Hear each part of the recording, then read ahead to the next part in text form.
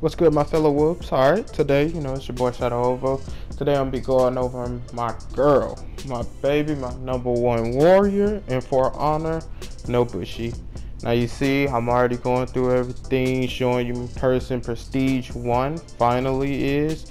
Uh, when you play as her, these are the best things to put on her for elimination and dom because the longbow is going to get you all the kills that you need if somebody's trying to double team or they don't want to come and fight you.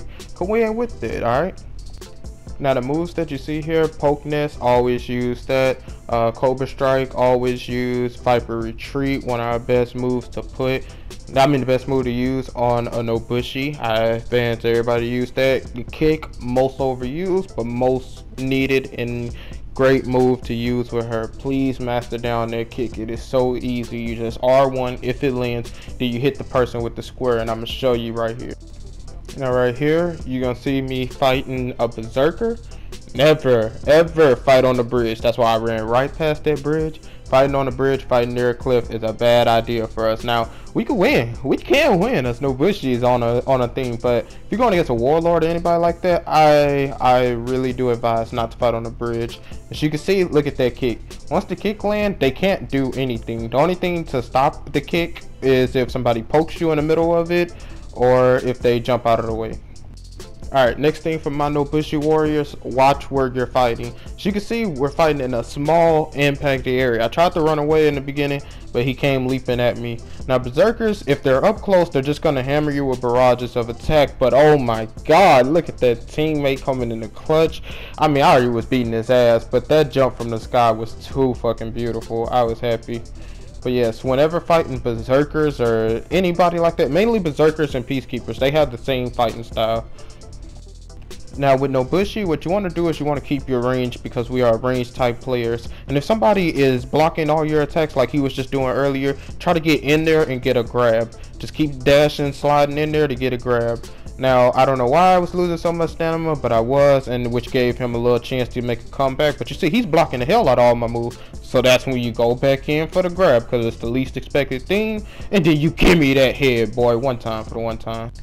Alright, my best advice, my very best advice when fighting Kenseis, they are very good with their up attacks. They have an unguardable up attack, and as you can see, I wasn't, I, I don't know why I wasn't guarding from the up, but bam, hit that kick on them, hit them with a little bit more bleed effect, then I do my back R1, that back R1 is going to get you a nice one. That's what happened when you press back. That is our hidden stance. Hidden stance is the best move to use, especially on Kenseis or anybody else who least expect it, because that hidden stance, hold on, I'm, I'm going to run that shit back one more time time to show you.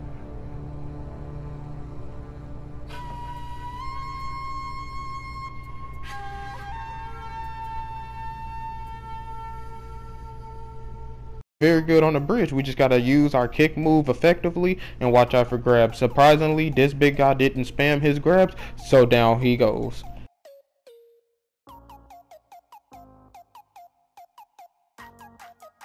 Now, when fighting a heavy hitter like this guy, you gotta want to try to keep your distance and watch out for his up attacks, his his big swings, cause he got some mean big swings.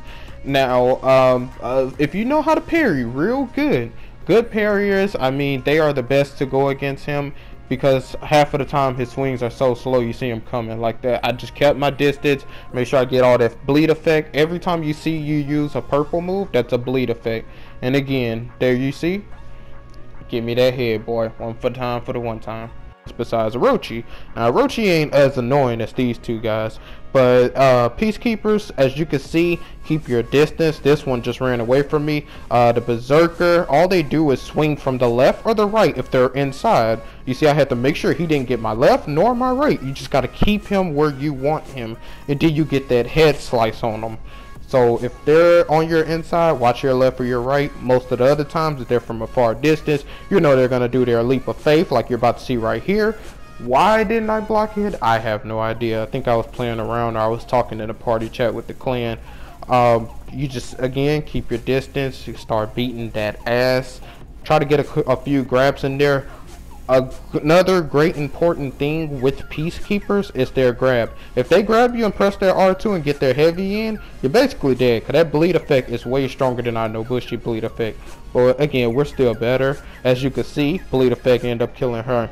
Now, as for Orochi, most Orochis either do this slide move that you're going to see soon. He's going to get his distance and try to come in. Or if they come from the top, they're going to spam a lot of the up combo.